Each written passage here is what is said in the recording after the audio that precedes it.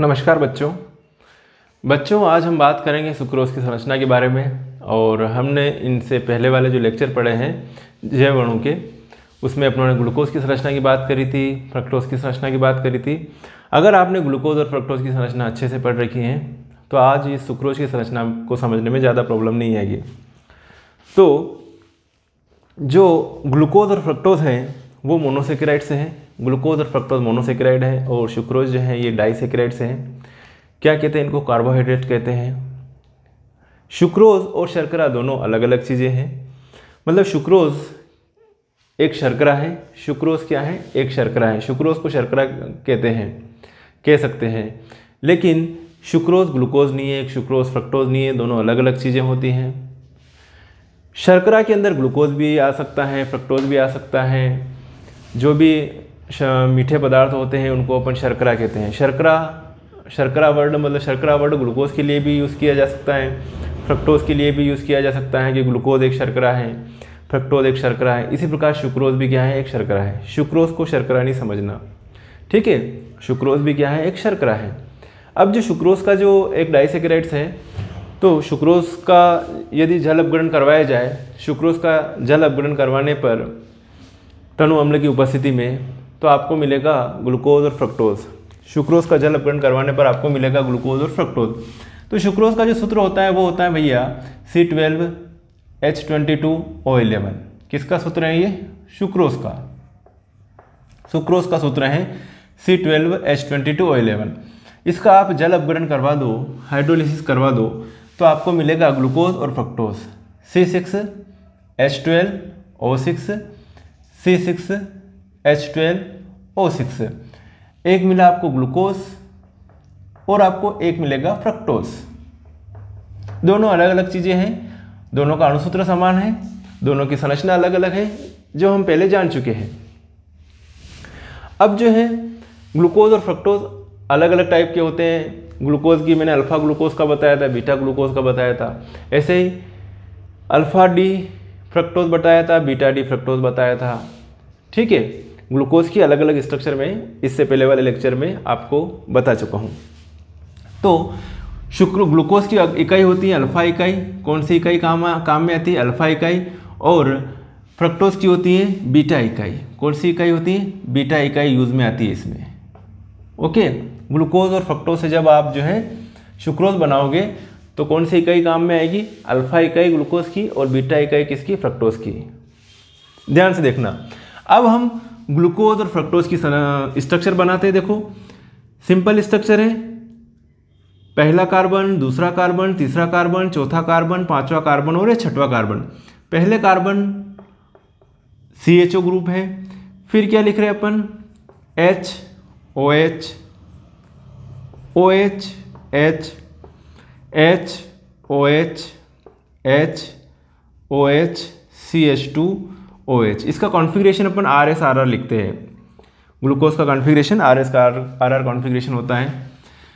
Fructose की structure बनाते हैं।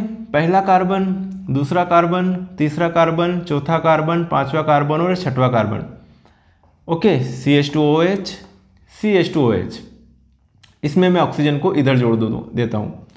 फिर ये ओ एच और ये H H O H H और ये लिखा मैंने ओ एच नंबरिंग कर लेते हैं इन कार्बन की हम। ये पहला कार्बन ये दूसरा कार्बन ये तीसरा कार्बन ये चौथा कार्बन ये पांचवा कार्बन ये छठवा कार्बन इसी प्रकार से यहाँ पर भी numbering one two three four five और ये सिक्स ध्यान से देखिएगा।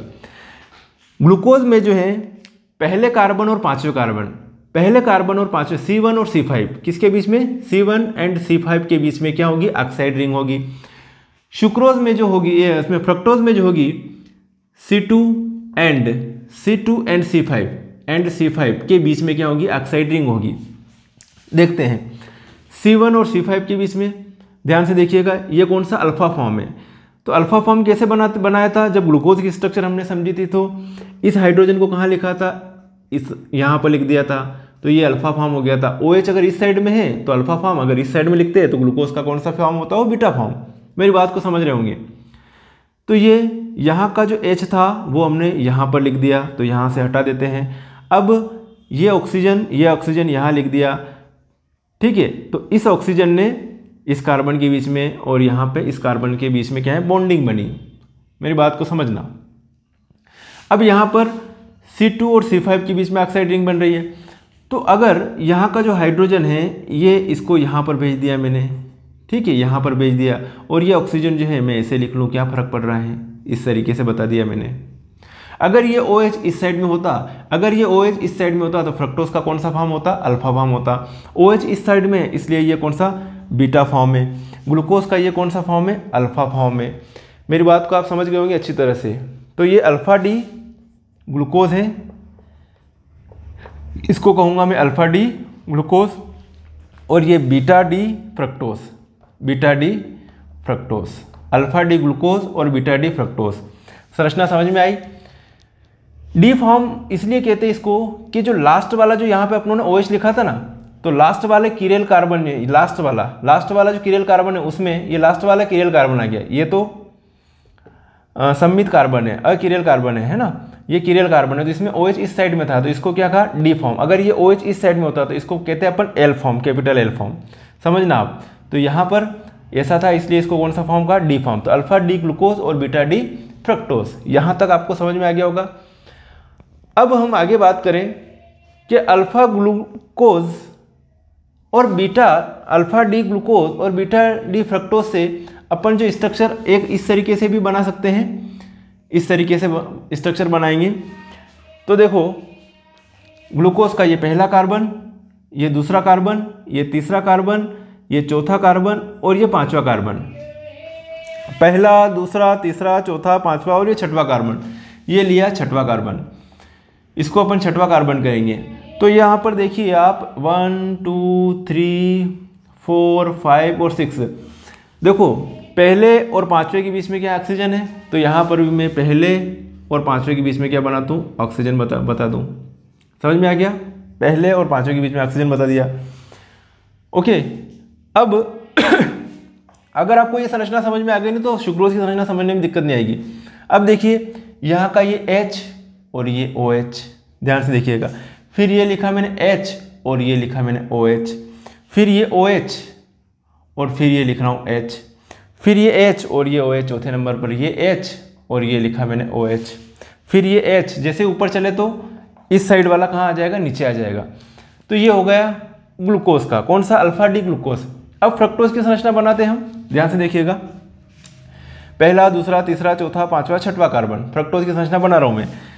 देखिए, ये ऐसे बनाते हैं इसकी स्ट्रक्चर को। C H two O H ये दूसरा कार्बन पहला कार्बन दूसरा कार्बन ये तीसरा कार्बन ये चौथा कार्बन और ये पांचवा कार्बन दूसरे और पांचवे के बीच में क्या ऑक्सीजन है? तो तीन चार, पाँच। दूसरे और पांचवे के बीच में ये अपनों ने ऑक्सीजन को शो कर दिया। ओके दूसरे और पांचवे के बीच में अपनों ने ऑक्सीजन बता दिया। अब देखो, अगर हम ऐसे चल रहे हैं, कैसे एंटी क्लॉकवाइज चल रहे हैं एंटी क्लॉकवाइज चल रहे हैं तो क्या होगा कि ये वाला ग्रुप इस साइड के ग्रुप जो कहाँ पे लिखेंगे अपन? नीचे लिखेंगे ग्रुप या आइटम ओके और क्लॉकवाइज चल रहे थे अपन, ऐसे चले थे क्लॉकवाइज तो ये वाली साइड अपनों ने कहाँ लिखी थी? ऊपर लिखी थी। मेरी बात को आप समझ रहे होंगे। तो ये C H two O H और सी ओ एच ये ओ एच ये वाली साइड कहाँ लिखना आपको? नीचे लिखना। फिर क्या लिख रहा है? एच ओ एच तो ये एच और ये लिखा मैंने ओ एच ये साइड ऊपर लिखेंगे, ये साइड नीचे लिखेंगे। इसमें ये साइड ऊपर लिखी थी, ये साइड नीचे लिखी थी। एच ओ एच अब चौथे नंबर के कार्बन पर ओ एच एच ये लिखा मैंने ओ एच और ये एच पांचवा नंबर का कार्बन एच और ये C H two O H ठीक है, ये वाली साइड अपन जो है किधर लिख रहे हैं? पाँच, ये ये जो है पाँचवें नंबर का कार्बन, इसको जैसे टर्म लिया अपनों ने, इसको इस तरीके से लिख दिया C H two O H और ये एच ऐसे लिख रखा है? ओके। तो यहाँ पर ये वाली साइड जो है ये वाली साइड अपनों ने कहाँ लिखी थी? ऊपर लिखी थी। जैसे यहाँ टर्न लिया कि यहाँ पर अपनों ने इस तरीके से अपन लिख लेंगे। ये पांचवा और ये छठवा कार्बन बहुत सारी चीज़ें ध्यान रखनी पड़ती है इसमें अपने को। ठीक है, ये वाले जो सूत्र हैं, इनको कहते हैं हेवर्थ प्रक्षेप सूत्र। हेवर्थ प्रक्षेप सूत्र। और ये है फिशर प्रक्षेप सूत्र। कौन से हैं? फिशर प्रक्षेप सूत्र, दोनों अलग अलग शुक्रोज का अगर हेवर्थ प्रक्षेप इसका ग्लूकोज का हेवर्थ प्रक्षेप सूत्र ये है फ्रक्टोज का हेवर्थ प्रक्षेप सूत्र ये है ग्लूकोज का फिशर प्रक्षेप सूत्र ये है फ्रक्टोज का फिशर प्रक्षेप सूत्र ये है। यहाँ तक आपको समझ में आ गया होगा मेरे हिसाब से। अब, अभी अपने पास शुक्रोज नहीं मिला है तो शुक्रोज कहाँ से प्राप्त करेंगे अपन? ग्लूकोज और फ्रक्टोज से प्राप्त करेंगे। तो यहाँ देखिएगा ध्यान से H2O को निकाल देंगे अपन, है ना? अगर ग्लूकोज फ्रक्टोज से शुक्रोज बन रहा है तो H2O क्या हो जाएगा? निकाल देते हैं। तो H2O जैसे कि ये ओ OH ये एच और ये ओ OH निकाल दिया अपनों ने। OH और ये H तो क्या रह गया? सिर्फ़ इस कार्बन और इस कार्बन के बीच में सिर्फ़ ऑक्सीजन बचा। तो देखो यहाँ पे ध्यान से, ये बचा भैया ऑक्सीजन। ओके? समझ में आया? इसी प्रकार, इस स्ट्रक्चर में क्या करेंगे अपन? एक का क्या करें अपन ओ OH और एक का क्या करें एच निकाल दें। और एक ऑक्सीजन ही बचा तो एक ऑक्सीजन को इन दोनों के बीच में ऐसे बता दो। ठीक है? बुक्स में आपको ऐसे मिले तो भी दिक्कत नहीं, एक ही बात है, यूँ लिखो या डायरेक्ट लिखो, कोई फ़र्क नहीं पड़ रहा। ओके तो ये है। और इस बॉन्ड को हम कहेंगे ग्लाइकोसाइडिक बॉन्ड ग्लाइको साइडिक बंद। ग्लाइकोसाइडिक बंद क्या बन गया ये? सुक्रोज की संरचना है ये। किसकी संरचना? सुक्रोज की संरचना। अब ग्लूकोज फ्रक्टोज नहीं रहा। किसकी संरचना हो गई ये? सुक्रोज की संरचना। ये भी किसकी संरचना हो गई? एस्टो निकलने के बाद ये किसका आ, किसकी संरचना बन गई? सुक्रोज की संरचना। सुक्रोज की संरचना। सुक्रोज क्या है भैया? एक डाइसेकेराइड है। दो मोनोसेकेराइड से इकाइयों से मिलकर बनता है। कौन कौन सी मोनोसेकेराइड से इकाइयाँ हैं इसमें? एक ग्लूकोज और एक फ्रक्टोज। एक ग्लूकोज और एक फ्रक्टोज इकाई है। ठीक है? इसको, इसी को अपन alpha D alpha D plus glucose कहो तो भी दिक्कत नहीं है, क्योंकि यही फॉर्म है। और बीटा डी माइनस, है ना? अल्फ़ा डी प्लस ग्लूकोज और बीटा डी माइनस, फ्रक्टोज कहो तो भी कोई दिक्कत नहीं है। तो शुक्रोज की संरचना हेवर्थ प्रक्षेप सूत्र में ये है और फिशर प्रक्षेप सूत्र में ये है। फिशर प्रक्षेप सूत्र में ये है। कैसे बनाई अपनों ने? इमेजिनेशन की पहले ग्लूकोज की स्ट्रक्चर इमेजिनेशन करी। फिर फ्रक्टोज की स्ट्रक्चर इमेजिनेशन करी ग्लूकोज और फ्रक्टोज की अपनों ने पहले फिशर प्रक्षेप सूत्र देखे, फिर इनके हेवर्थ प्रक्षेप सूत्र देखे, फिर अपनों ने देखा कि कहाँ से वाटर मालिक्यूल निकल रहा है, वहाँ उस जगह को देखा और इन दोनों के बीच में क्या बन गया बॉन्ड बन गया। कौन सा बॉन्ड है? ग्लूकोज और फ्रक्टोज के बीच में ग्लाइकोसाइडिक बॉन्ड है और शुक्रोज बन गया आपके सामने। क्या बन गया? शुक्रोज बन गया। ये वाला बॉन्ड कौन सा है? इस बॉन्ड को क्या कहते हैं? ग्लाइकोसाइडिक बॉन्ड कहते हैं। ठीक है ग्लूकोज और फ्रक्टोज के बीच में जो बॉन्ड पाया जाता है उस बॉन्ड को हम कहेंगे ग्लाइकोसाइडिक बॉन्ड कहेंगे। तो मैंने आपको ये शुक्रोज की जो स्ट्रक्चर बताई, पूरी बारीकी से बताई। और मेरे हिसाब से अब आपको सारी जानकारी हो गई होगी शुक्रोज डाइसेकेराइड्स की, कि कैसे इसकी स्ट्रक्चर बनेगी। ध्यान से समझिएगा कॉपी में बनाते हुए लिखिएगा, आपको 100 परसेंट सारी चीज़ें समझ में आ जाएगी। ओके ठीक है साथियों, मिलेंगे फिर नेक्स्ट वीडियो में। तब तक के लिए बाय